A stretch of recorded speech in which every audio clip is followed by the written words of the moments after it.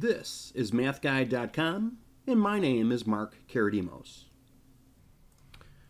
In this video, we will be looking at three examples, and these examples will contain rational expressions. We will calculate horizontal and vertical asymptotes. Let's get started. So let's look at our first example. Let's take the case that we have 1 over x minus 5. So we want to figure out where our asymptotes are. And the way you find the asymptotes of these rational expressions, pretty simple. First thing we're going to do is take the denominator and set it equal to 0. If we solve and we find this value that makes a 0 in the denominator, this is a concern because the denominator can never be equal to 0. If it is equal to 0, we have an undefined situation. All right, so at x equals 5, we have an undefined situation. And it turns out once we find this value, we've also located our vertical asymptote. All right, now the next step is to figure out what the horizontal asymptote is. All right, so let's get the horizontal. To do that, you have to compare degrees. So the degree of the denominator is the highest power on the x. So here the power, which is invisible, it's a 1. So we have degree 1. Okay, here in the numerator, there are no x's. If there are no x's, it's degree 0. You'll notice that the degree of the denominator is larger than the degree of the numerator. And in this case, if the degree of the denominator is larger than the numerator, the horizontal asymptote will always be y equals 0. All right, let's get a diagram of this, and we'll see how this all pieces together to help us with domain and range. All right, so we have ourselves the graph, and let's find these asymptotes in the graph. So if we start with the x equals 5, you could see at x equals 5, we have this vertical asymptote. And if you look at y equals 0, in other words, if we look at, my dashes aren't coming out so well, but if you look at the x-axis, this is our asymptote. Okay, I'm going to get rid of that one because that's actually a distraction. Okay, so if you notice that, um, everything comes together. The algebra and the diagram match. Okay, so what does this mean? Well, when we calculate the domain, oop, let's do that in white. Okay, so you calculate the domain, we're looking again for the x values. So this curve really has two branches. It's discontinuous, right? There's, it, it's got two branches. So let's find the domain of just this first branch, the leftmost branch.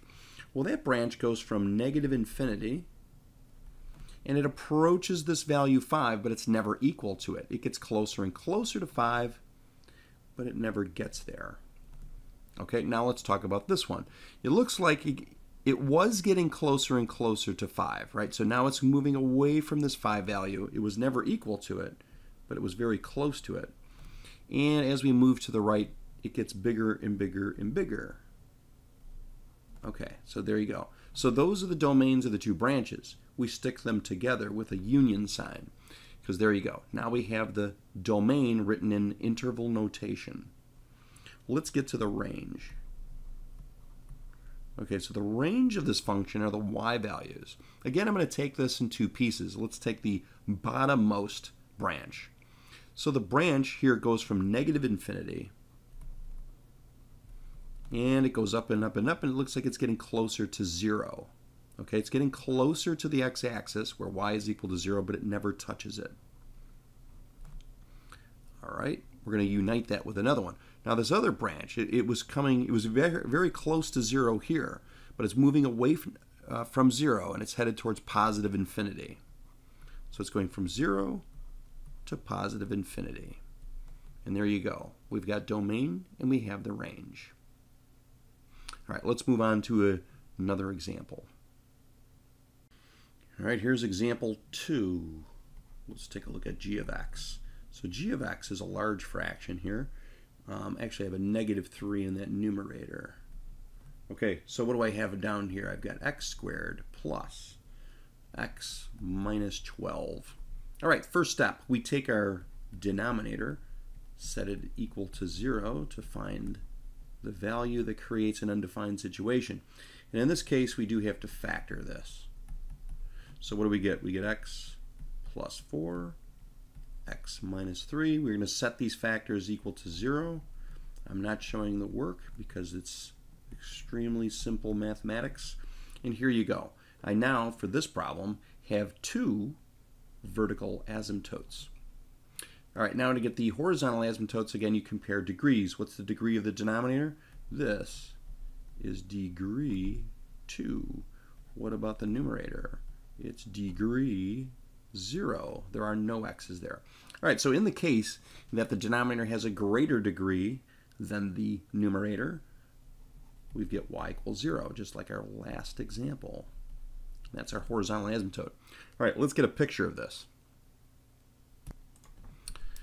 So again, if you examine the diagram and you look for the asymptotes, it will match. So you get the x equals negative 4, that's right here. So we get this vertical line. At x equals 3, we get another one.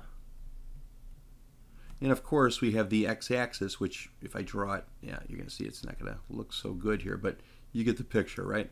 So there's another one right there. Okay, let's use this now to calculate the domain and the range. It's not much of a calculation, it's more of a determination here. We're going to determine it. So uh, let's write it here. I'm a little bit cramped for space. Okay, I know I'm going to need a lot of space because there's three branches in this discontinuous curve. I got this left branch, this middle branch, and I've got this right branch. So taking it from left to right, like I should with domain, it goes from negative infinity and it approaches negative 4. So negative, I'm going to write it over here, negative infinity approaches 4. Oh, negative 4. It's never equal to that.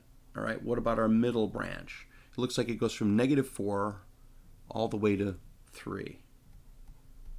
It's never equal to those values, but it's approaching them. In our rightmost branch, we went from 3, it's very close to 3, and it goes to positive infinity. Oh, I could write that neater. So from 3 to positive infinity. All right, that takes care of our domain. All right, now let's get to the range. All right, now range, we're looking at the y values. So we're not looking left to right anymore, we're looking bottom to top. All right, now this is going to be easier. Now, even though there are three branches, it looks like these, the left and the right branch, have the same range. They go from negative infinity and they approach zero, right? Negative infinity and they approach zero. So those two can be expressed with the same interval. All right, now what about the middle branch? It looks like it was very close to zero, and uh, and then it's going all the way up to infinity. Now you would think it looks like it, it goes from zero to positive infinity. It certainly does go to positive infinity, but it doesn't really get close to zero. It, it's you know, it's not like this asymptote that's getting closer and closer to zero. So I use the trace feature on the graphing calculator, and it looks like 0.245. Of course, that's rounded to the nearest thousandth. Uh, it looks like the lowest value it gets in this vicinity. So it looks like 0.245. And then it goes to infinity. Okay, so I had to use the trace feature to get this value. Okay, let's go on to the next curve. All right, here's our final example. And we're going to have 4x plus 3 all over x minus 2. Okay, so here we've got this function, and we're going to graph it. So again, or actually calculate the domain and range, so we need the asymptote. So we set this equal to 0. We get x is 2. And of course, this is our vertical. So this one only has one vertical asymptote. All right, let's find the horizontal. Now to get the horizontal, again, we compare degrees. Okay, let's compare degrees. So the bottom one has degree 1, and the top has degree 1. Oh, well, we know when the bottom is greater, it's 0. All right, well, it's not. Okay, uh, when the I'm sorry, if the bottom has a greater degree, then it's uh, y equals zero. Now, in the case that they're equal, you take the leading coefficients, and here you got four and one. Those are the coefficients of the leading term, and you divide them. So in other words, I take 4 divided by 1, and I get 4. That's only when the degrees are equal. All right, let's see a diagram of this.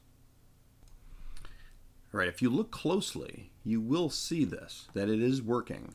So let's start with the x's 2. 1, 2. So it's hard to see because I'm a little zoomed in here. But if you were to zoom out with a graphing calculator, hard to draw a dashed line here, but you could see that it is asymptotic to x equals 2. And then if you do y equals 4, 1, 2, 3, 4, you have another one. And again, it's hard to tell here exactly because this is a little zoomed in, but I wanted to make sure I could see these numbers here clearly. But if you zoom out, it is clear that those are the two asymptotes, which matches our graph.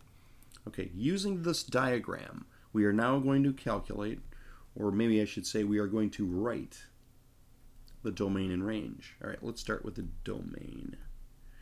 Okay, so what's the domain? Let's take this left branch of our discontinuous curve. So the left branch goes from negative infinity, and it looks like it gets closer and closer to the x equals 2.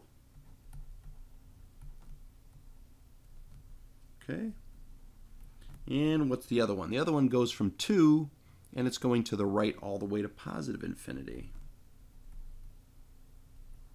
There you go, there's your domain. Now let's talk about the range.